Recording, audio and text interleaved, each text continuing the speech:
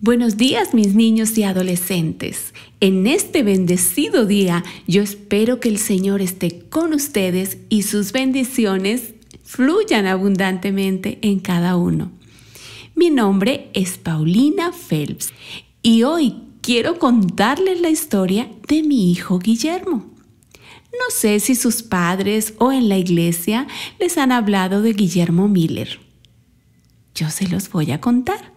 Guillermo Miller nació en Massachusetts, Estados Unidos. Era un niño muy listo. Cuando tenía cuatro años, me sorprendió al pedirme que le enseñara a leer. Yo no tenía libros especiales y coloridos para enseñarle a leer y además no sabía cómo enseñarle.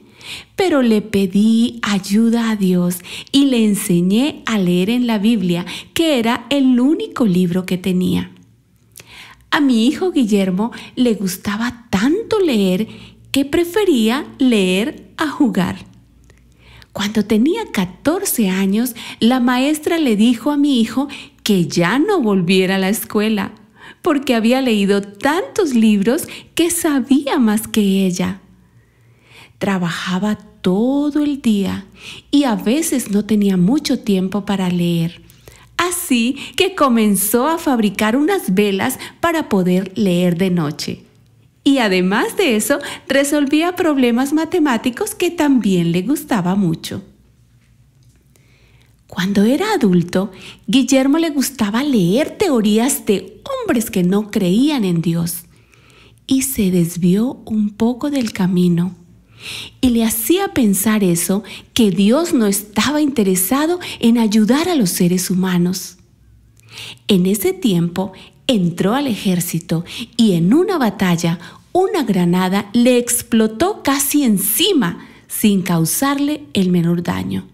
Esto impresionó bastante a mi hijo y le hizo pensar que Dios lo había librado por alguna razón. Al terminar la guerra, volvió a la Biblia para encontrar respuestas a lo que le había ocurrido. Se sintió muy feliz al saber que la Biblia hablaba de Jesús como su Salvador y Jesús se convirtió en su mejor amigo.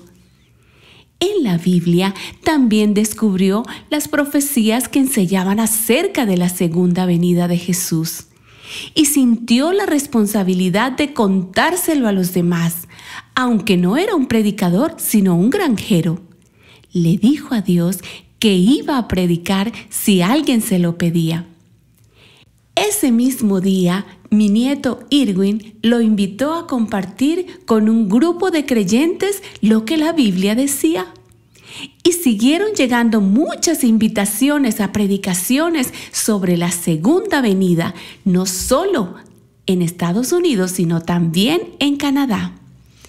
Aunque Jesús dijo que la fecha de la venida de Él nadie la sabe, mi hijo creía que vendría en una fecha determinada. Sin embargo, esa fecha llegó y Jesús no vino.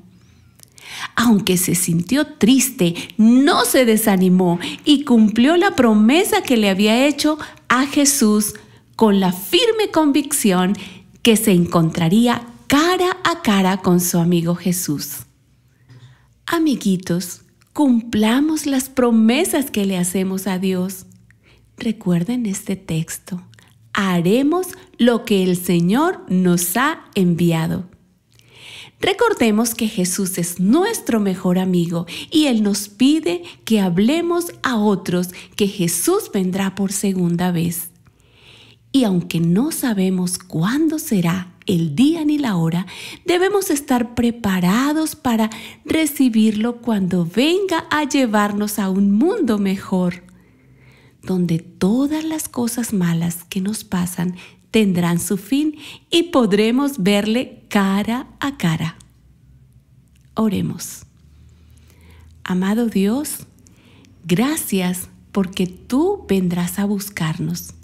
Gracias porque tú cumplirás esa promesa para cada uno de nosotros. Ayúdanos a obedecerte de corazón. En el nombre de Jesús. Amén. Nos vemos en una próxima historia. Bendiciones para todos.